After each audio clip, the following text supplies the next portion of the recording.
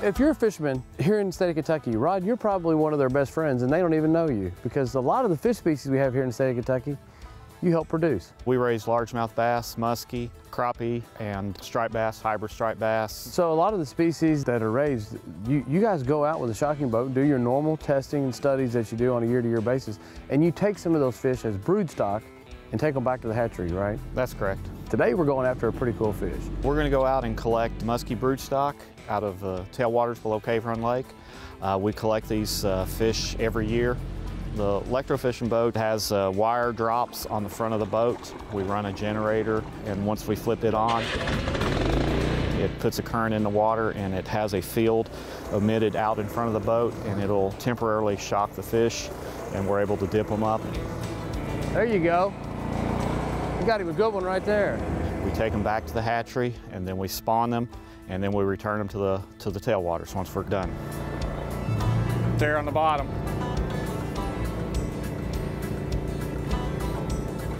What a beautiful fish. That's probably the other one you saw.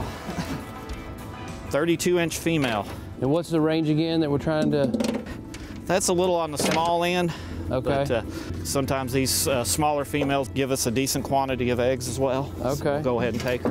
all right, a male and a female. You think, oh, the bigger the better. That's not always the case for viable eggs, is it? Uh, that's correct. Uh, sometimes once you get above that 46, 47 inch range, the egg quality goes downhill substantially. There's one right there, right at the boat ramp.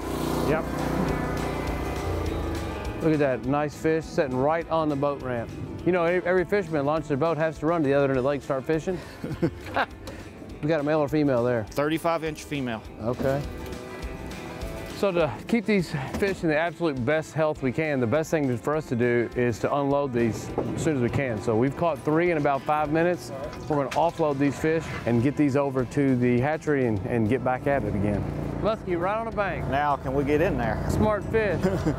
There's a big reason we do this. And the reason is that here in the state of Kentucky, muskie reproduction on their own is, is not very strong, is it? No, no, there's very little natural reproduction. So if it wasn't for uh, the fish hatchery producing these fish, we, we really wouldn't have a population of muskie to fish for in the state of Kentucky. That's correct. Whoa, there it is. We pin it? I tried, no, I tried to shove it into yours.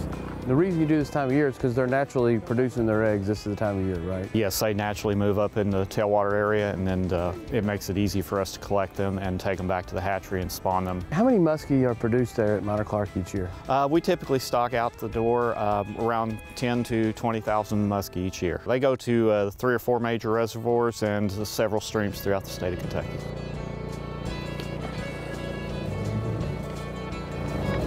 You got it. Nice. Oh gosh. It's a good one there. That's the biggest one we've had so far today. Okay, now we're going to take the fish, get the head in the bag first. Those teeth got her mouth open. We'll measure them. So it's a 41 and a half inch female. Then we're going to do a hole punch to indicate that it came from the river. All right. So we know it's a female, we know the length, and it's been marked. So it's now time to get her back into the live well here for safe transportation. How many will it take to get your 10 or 20,000? Typically, we'll spawn anywhere from 12 to 25 females each year. Okay.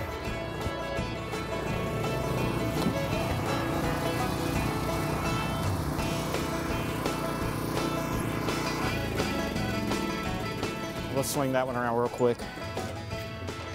39 inch female. There you go. That's right in the wheelhouse for what you're looking for, right? You said up to 46?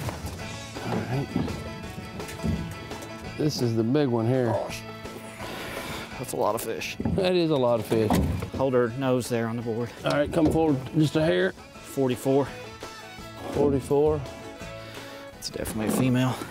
I'll clip her and then we'll grab the bag.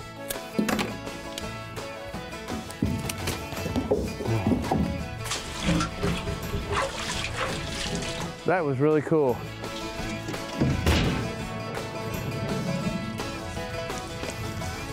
We're just a mile or two away, and uh, we've got this holding pond here at the at Minor Clark Fish Hatchery. And the reason for this pond is for us to uh, release these fish, and you can pick them up and not have to hold them for a long period of time until right before eggs, right? Yes, that's correct. So we're going to release these fish in here, and then how long will they be in here before you remove them and actually take the eggs?